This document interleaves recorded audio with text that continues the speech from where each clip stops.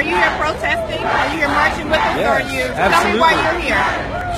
I'm here because all violence is connected, and the state has been killing black men and black people and people of color in general at a disproportionate rate. And we live in a country that was built on the backs of slaves to advance, you know, people that look like me, and it can't go on.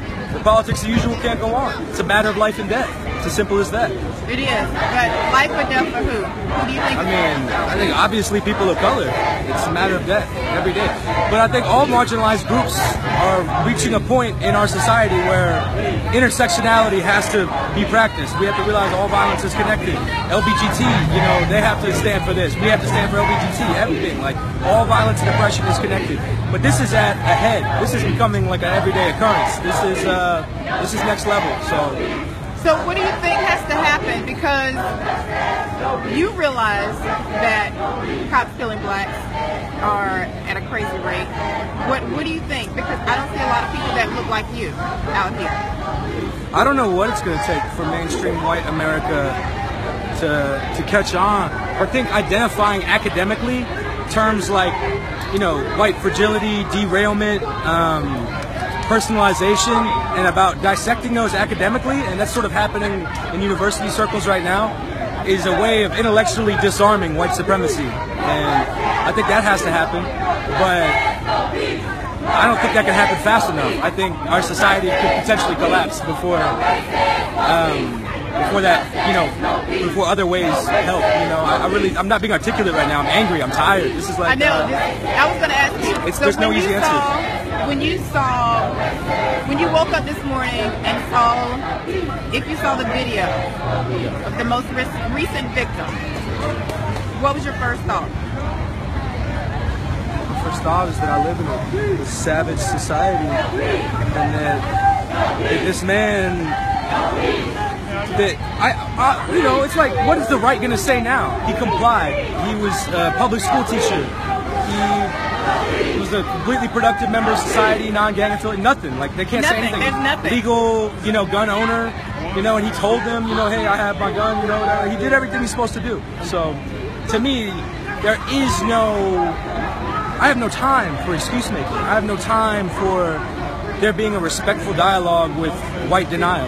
Like, I don't think it's, I don't think it's functional. White denial. Yeah, I don't think What is white denial to you? white denial to me is automatically jumping to to defend or excuse these incidents out, out of a matter of own comfortability because people don't want to think they live in a society that that's it's that violently racist. People don't want to think that that's the case. So People, yeah. because they, because they know that they're responsible for it and that they benefit from it and that they're implicitly condoning it every time that they live and they don't burn this shit to the ground because I don't know honestly like denial is so strong and it's so endemic and it brings back the conversation of like how do you get these people to come around how do you get them to see and uh, I don't I don't think I don't think catering to that demographic is even productive anymore like I don't think it's worthwhile. the worthwhile demographic that's in denial. yeah But if we don't get them on denial, how do we change it?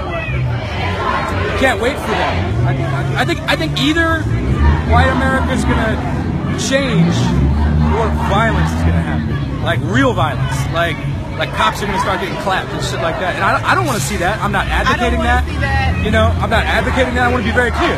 But I also think that we have to be realistic about the times that we're living in, the acuteness of the problem, and the acuteness of the, the challenge of trying to get other people to accept that it's a problem at all is it on days like this it feels like it's insurmountable like I, I, I don't have a lot of hope honestly as a white person in america i don't have a lot of hope So if you, as a white person in America, don't have hope, imagine how we feel when we, when we wake up in the morning and the first thing I see after my morning prayer is that another man has been shot and killed.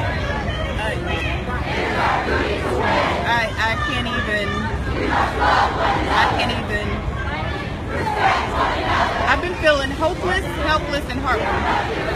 I don't know what other. I, I don't even. I don't have words. People need to arm themselves. I think people need to train their kids. I think people should know the law and stuff like that. But I'm not into the culture of victim blaming. I'm into the culture of reform. You know, And that's what we need. Yeah. We need so electing progressive politicians and not backing down to the institutions that keep progressive politicians back, like the Sanders campaign, not not just backing the DNC because we're scared of Donald Trump or whatever that is. Whatever machinery is happening in the U.S. political system that allows for progressive candidates to be systematically disenfranchised, voter election fraud, all this kind of stuff, we can't just endorse that. We need to support them on a congressional level. We need to support them on a local level. We need to support people that are vocal about the role that police play in the lives of citizenry and people of color specifically. And that absolutely has to be a central campaigning issue for anybody that has an ounce of humanity in them, white, black, otherwise. white, black, or otherwise. So I've noticed that some of my white friends have found it difficult being around me. If you could say anything, what what would you say to your? What do you say? What have you said? What What are your thoughts?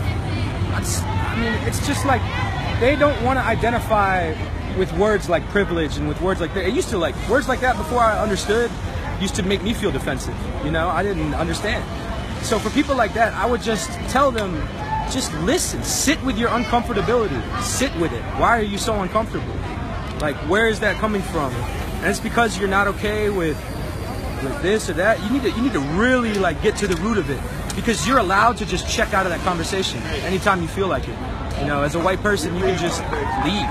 You can just leave the room and, and not worry about racism. You know, so understanding that not everybody is afforded that capability is central to understanding why other people are living under so much stress because there is no escape. You, you live in this situation, so Right. just for Thank- people to understand you can take that hat off and have compassion for people that can't. So, because everybody is loving your words and that you're here, tell everybody who you are. You want them to follow you on social media. Any last words you want to share? Um, don't uh, don't be apathetic. Every time this stuff happens, get more angry. Don't get numb. I don't know, man. Um, if you're white, check yourself. Stop talking and start listening. It's easy for me to say after talking a whole lot, but like straight up, like But now you're doing something. yeah. Now you're getting involved. Yeah, abs- I mean, you don't have a choice if you have a heart and A conscience. see what's going on out here at all. Like even, even a little bit. That, the man fired into that car today, and he didn't give a fuck that there's a little girl behind him. I mean, the police should know like someone's in the line of fire, someone's in the, someone's right behind this person. They know exit wounds and they spread and they know all this bullshit, but it didn't matter at that point. They didn't give a fuck. Fucking animals, man. We're, we're not talking about people that are, are worth respect or worth anything. It's um, it makes me shake. Makes me cry. Makes me cry. Makes me shake. What's your name? Uh, my name is Brian. Uh, I'm a chef in Charlotte, North Carolina. I do plant-based foods and stuff. I, I post a lot of stuff like about this kind of thing and, and, you know just how to try to be healthy and stress-free when you can. Um, I'm on Instagram at calling Chef Cat. Um, find my food is Terra Flora. But uh, yeah, man, hit me up. Let me know when this is going on. You know, like We will. fuck the bullshit. I'll be I'll be out. I'll bring folk. We will. Not all right. Thank you for talking to me. Thank you for caring. And thank you for not being in denial and being courageous enough to come out here and be a part of this. It, it means Thank, a lot. thank you for seriously. making this a thing at all. You know, like to me, it's like, you know, you're white in America, dude. Like, I don't. Mm, I'm sorry. I'm. Thank you. It's the all sensitive good. felt, but it's all yeah, good. Yeah, yeah. It's, can I hug you right now? Like, yes, yeah, you can absolutely. hug me. Absolutely. Thank you. Thank you because you care. Yeah. It's not over. We need the more power.